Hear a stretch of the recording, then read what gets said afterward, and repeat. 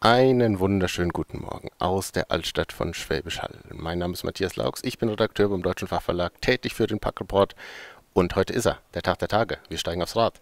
35 Kilometer durchs Packaging Valley von Schwäbisch Hall über Ilshofen nach Kreilsheim. Freuen Sie sich auf ganz viel spannenden Content. Jetzt geht's los.